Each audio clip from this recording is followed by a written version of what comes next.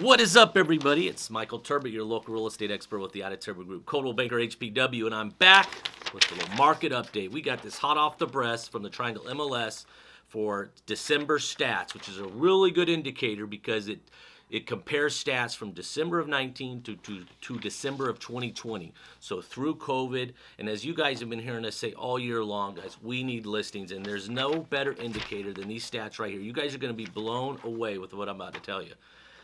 The difference between December of 2019 and December of 2020 is inventories down almost 60%, 57.9% to be exact. We went from a 1.9 month inventory down to 0.9 months, or actually 0.8 month inventory, under one month supply. In all of the Triangle MLS, it's at 0.9. I'm only looking at Wake County.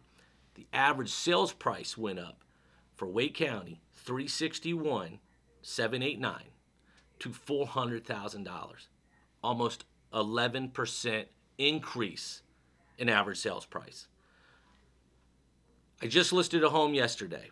We hit active. We have 25 showings on it. If you're at all thinking about selling your home, guys, and I know a lot of it is we don't know where we're going to go, Terb.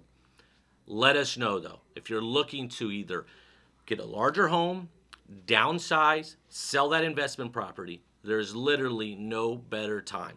The buyers are out there, the rates are at all time lows. There's no better time to get equity. If we need to get a roadmap to help you sell that home and get into that next home, reach out to me. We'll start that game plan. Now, look, someone just texted me right now to list their home.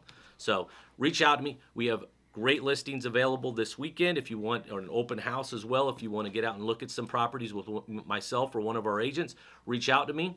We'd love to help you accomplish your real estate goals. Again, it's Michael Terbet, your local real estate expert with the Ida Terbet Group, Coldwell Banker HPW. Guys, And remember who you work with matters. Have a great weekend.